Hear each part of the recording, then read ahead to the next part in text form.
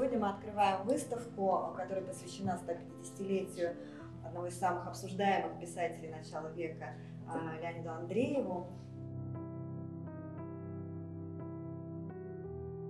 Это очень важный разговор о писателе, о литературе и, конечно, о нас с вами. Вы услышите, например, голос Леонида Андреева.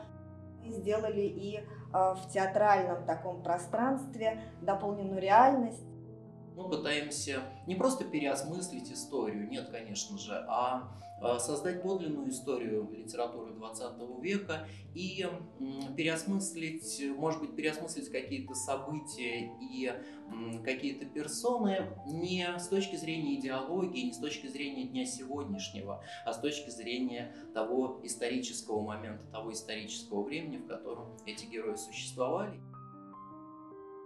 Орел ну, действительно такая колыбелька Леонида Николаевича.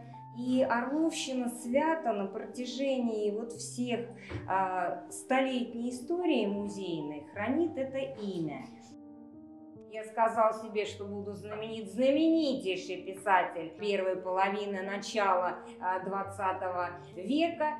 Как интересно а, заиграли в Трубниковском переулке в доме Остроухова предметы из разных, опять же, Андреевских коллекций, как они интересно обыграны его словами из дневников, произведений, жизни, его фотографии, его портреты. Это наследие, к сожалению, так сказать, является достоянием лишь очень, очень узкого круга людей. А для того, чтобы его сохранить, нам нужно, чтобы круг был максимально широким.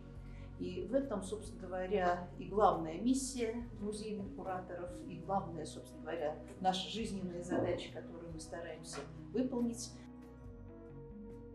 Место, где была его дача, а, в подмосковном Бутове, сейчас это район Москвы, старинная купеческая усадьба, оно осталось до сих пор, туда можно приехать, погулять по тем же прудам.